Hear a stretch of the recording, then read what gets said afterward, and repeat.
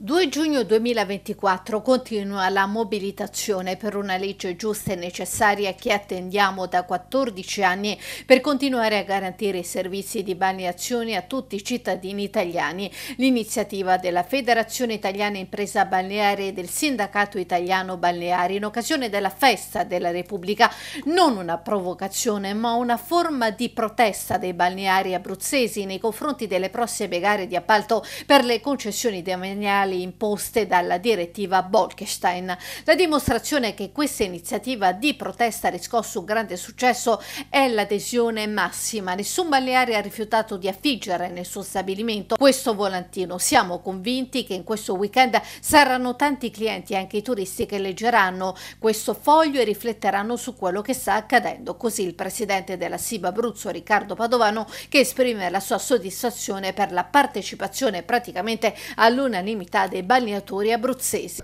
Ci scusiamo col presidente Mattarella e tutta la comunità italiana, però vogliamo richiamare l'attenzione della politica che in questi mesi è troppo dormiente e ha messo in, in crisi tutto il settore dell'impresa balneare.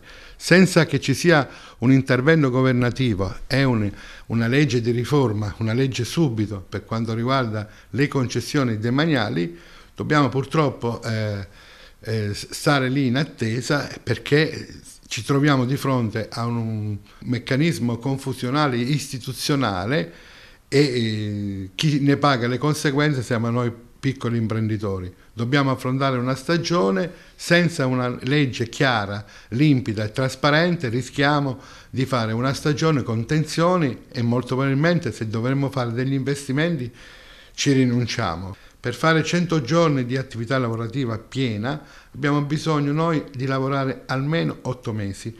E quindi ci spiace che la politica si sia fatta influenzare dai facinorosi dove persone continuano ad insultare le nostre imprese, veramente ci dispiace e credo che la politica in questa settimana debba riflettere. Padovano ribadisce ancora una volta come sia necessaria una legge noi vogliamo una legge giusta, una legge che riconosca agli stabilimenti balneari che se, se domani ci dovrà essere un'evidenza pubblica e quindi si va a gara, vogliamo che ci venga riconosciuto il giusto indennizzo perché in quel tratto di spiaggia noi abbiamo costruito un'impresa, abbiamo fatto degli investimenti su proprietà che non è, sappiamo che non è la nostra proprietà, però li abbiamo fatti. Grazie ai nostri investimenti abbiamo dato una ricchezza sul territorio in, in termini di assunzione, in termini di, eh, eh, di pagamento de, di tutti quelli che sono i servizi, ma diciamoci una grande verità, una spiaggia senza servizi diventerebbe una spiaggia abbandonata. Basta noi vedere